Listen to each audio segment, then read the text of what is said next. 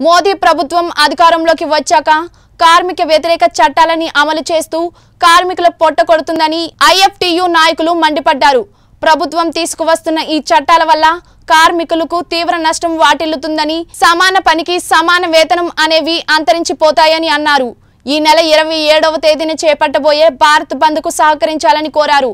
ఈ సందర్భంగా Kakinada labour office వద్ద ఐఎఫ్టియు నాయకులు వామపక్షాలు నిరసన తెలిపారు.